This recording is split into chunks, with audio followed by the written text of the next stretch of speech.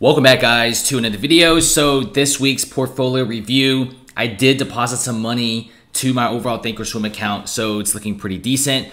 But of course, I mean, it's the usual this week, just to selling cash secure puts. I did actually exit out a workhorse, all of my shares, simply because if you check out the one week chart, it's just a slow and consistent drop. I'm still really bullish on workhorse. I still think it's a good company, but right now it might dip further. So I'm holding all my cash. I may actually jump in later on. If you check out SPY right now, it's also doing pretty bad. It's down 1%.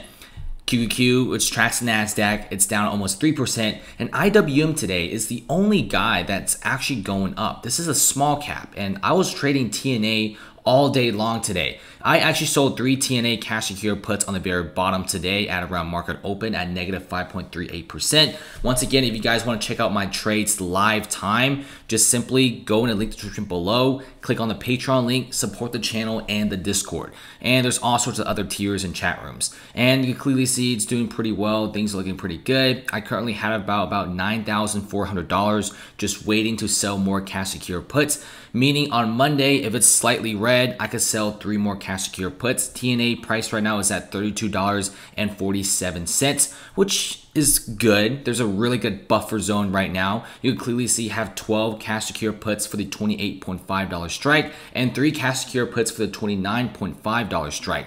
All of these cash secure puts expire next week on October 9th, and there is this really good buffer zone. I mean, TNA has to drop about four whole dollars for it to actually hit this, which is about a 12 to 14% drop for TNA, which is absolutely insane.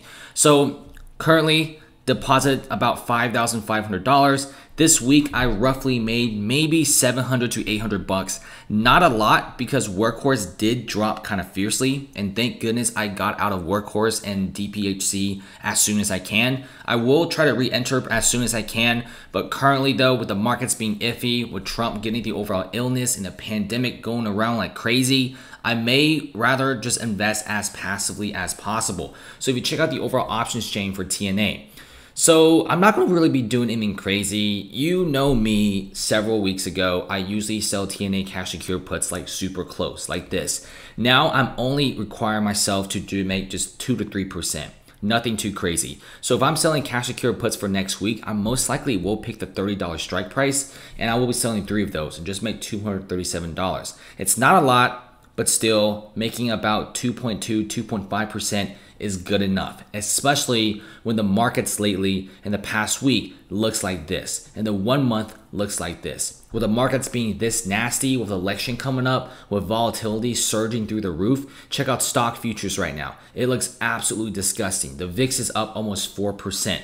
Things aren't looking good, and I'm preferring small cap than QQQ is because a small cap is actually one of the few indexes out there that hasn't even hit all-time highs. Check out the five-year chart. The one year chart, before the giant drop, it was almost at $170. Now it's only $152. So even when other indexes are dropping, small cap goes up because it's just too undervalued. I mean, it hasn't even hit all time highs. But if you check out QQQ's five year chart, you clearly see it was at around $236 before the giant pandemic drop in February, and now it's $274. It hit $300 at one point, which is absolutely mind boggling. And this is why I'm sticking with TNA. Some of you guys may say TNA is a little bit too volatile, TNA is a little bit too much, but I feel like it's perfect. That's about it. Thanks for watching and comment below how do you guys feel about the trading and definitely check out the Patreon link. You won't regret it.